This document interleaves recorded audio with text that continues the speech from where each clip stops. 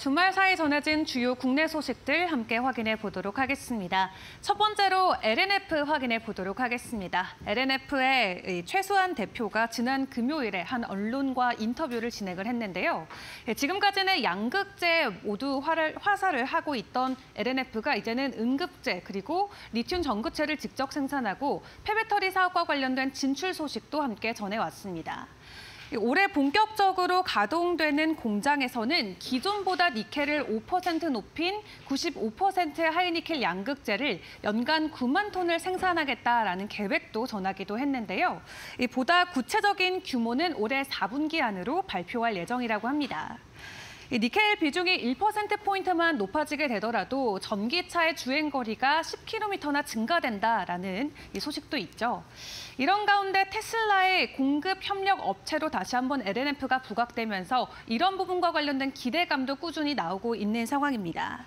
이 테슬라는 계약상의 비밀을 매우 중요하게 생각하기 때문에 소재 기업이 수급처와 계약 규모를 밝히지 않는 도깨비 공시를 많이 내는데도 이러한 이유가 있는데요. 이 LNF는 현재 국내에서 유일한 테슬라의 공급 배터리 소재 기업으로 알려져 있는 상황입니다. 하지만 최근에 국내 배터리 소재사에서 도깨비 공시가 잇따라 나오면서 배후에 테슬라가 있는 것이 아니냐 하는 기대감과 관측도 나오고는 있습니다.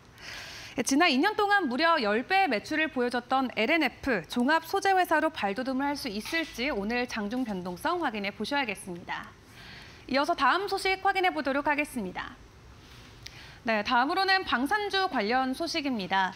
폴란드가 작년 한국에서 K2 흑표 전차, K9 자주포, 그리고 FA50 격공격기 등 최대 20조 원으로 추산되는 무기류들을 사들이기로 결정하고 나서 최근까지 전차 대금으로만 약 6천억 원이 들어온 것으로 확인이 됐습니다. 주력 상품인 반도체 수출 부진으로 우리나라는 15개월째 무역 적자를 보여왔는데요.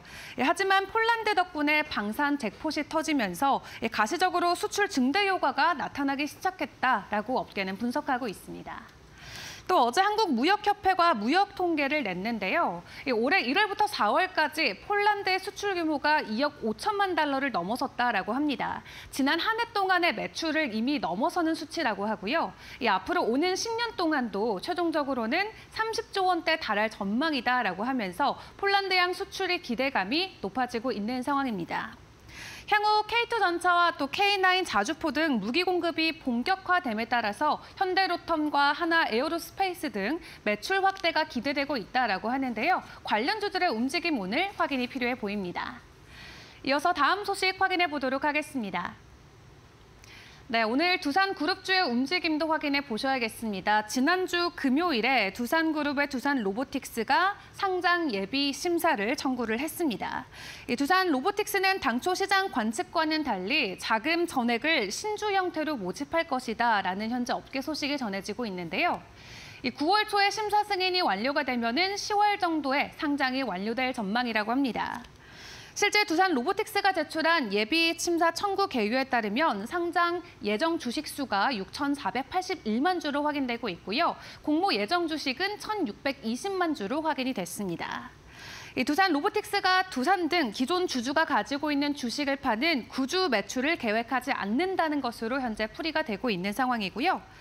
두산 로보틱스가 조 단위에 되어인 만큼 전액 신주 발행으로 공모를 진행할 경우 오랜만에 코스피 시장 IPO 흥행 사례로 남을 수도 있다라는 업계 기대감도 나오고 있습니다. 현재 상장을 앞두고 있는 만큼 기대감으로 움직일 수 있는 종목들이 나올지 장중 변동성 확인해 보셔야겠습니다.